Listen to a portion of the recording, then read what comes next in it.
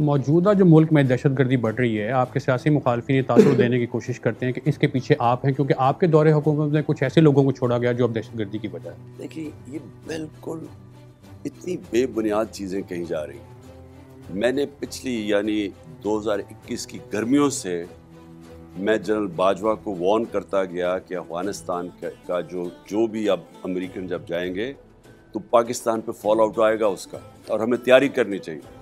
बल्कि मैं समझता हूँ कि हम बच गए, इससे भी ज़्यादा इंतहा की दहशत गर्दी होनी थी। अगर वो वहाँ सिविल वॉर हो जाती अफ़गानिस्तान में और अफगान आर्मी अगर ना सरेंडर करती और सिविल वॉर हो जाती तो उसके और ज़्यादा असरात आने थे पाकिस्तान में। तो मैं तो तब से तैयारी करवा रहा था और मैंने, उनका काम था सिक्योरिटी जनरल बाजवा का, उनको मैं कहता भी गया। मैंने अपनी सारी कैबिनेट को बताया कि हमारे लिए बड़ा मुश्किल टाइम है और हमें तैयारी करनी चाहिए। तो हम बिल्कुल, यानी इसके ऊपर मीटिंग्स भी हमने की।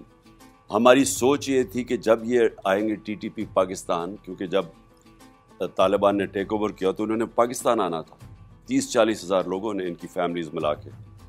तो तब से हमारा ये सोच थी कि अगर हमने इनकी रीसेटलमेंट और वहाँ के मुकामी लोगों के साथ मिल के इनके साथ बैठ के ना की, इसके बुरे असरात आए। हमारी गवर्नमेंट चली गई। इन्होंने कोई तवज्जो नहीं दी। तो आहिस्ता आहिस्ता ये बढ़ता गया और ख़ास तौर पे पख्तूनख्वा के अंदर लोगों को इस वक्त खौफ है कि ये फिर पुराने ज़माने की दहशत गर्दी ना शुरू हो जाए।